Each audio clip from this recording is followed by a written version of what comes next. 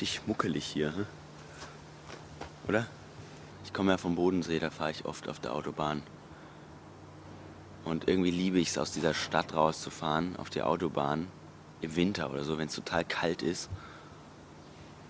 Und neben mir sind einfach nur diese riesigen Flächen von Schnee, vielleicht auch einfach Matsch, ist egal. Ich liebe das, wenn man da so, wenn man da einfach so lang brettert und, und weiß, man kann diese riesige Stadt mal hinter sich lassen. Also das Spiel, hm, das ist für mich so eine, also ich, weil ich finde, viel läuft, sehr viel läuft über die Gedanken, über Genauigkeit, über Bilder im Kopf und ähm, ich finde, das Spiel, das Spiel an sich ist sozusagen wie ein eigener Film, der so im Kopf abgeht und ich finde, das ist eben so ein, so ein kleiner Rausch, wie wenn man als Kind äh, eine Geschichte vorgelesen bekommen hat von den Eltern, ein Märchen oder so. Das habe ich geliebt über alles.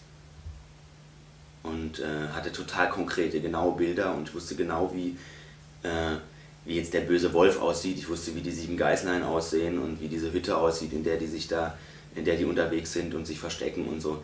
Ähm, das sind so, so Bilder und ich finde, wenn die abstumpfen im Laufe der Jahre, je älter man wird, desto mehr stumpfen die ab, glaube ich ähm, dagegen anzugehen. Mit Bildern, mit Fantasie.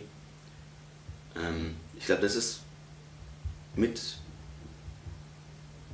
Das, ist, das reizt mich tatsächlich. Ich gehe in kein Heim. Morgen um neun kommt Nadja. Eine junge Polin.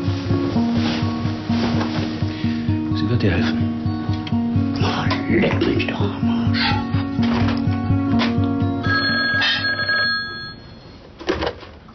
Ja. Himmel, ich weiß doch, dass Sie Hilfe brauchen. Halten Sie die Klauen! Fahren Sie zurück nach Polen.